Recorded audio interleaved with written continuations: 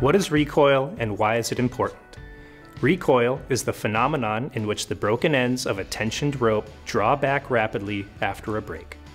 While there are tools that allow for a more controlled environment, there are also situations outside of an operator's control that may result in dynamic or shock loading with the possibility of broken lines. In any mooring arrangement, the energy released in the event of a break can be a serious hazard. Stored energy within a rope is controlled by the load applied and the total displacement. Displacement is dictated by overall stretch of the selected material, so increased stretch from materials such as polyester, polyolefin, or nylon result in increased stored energy when used in main lines or tails.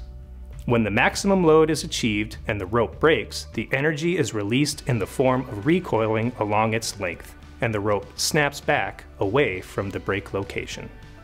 Overall length also plays an important role in system energy.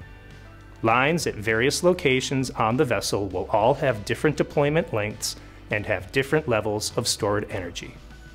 Higher modulus fibers like HMPE or Aramid are commonly used as mainlines.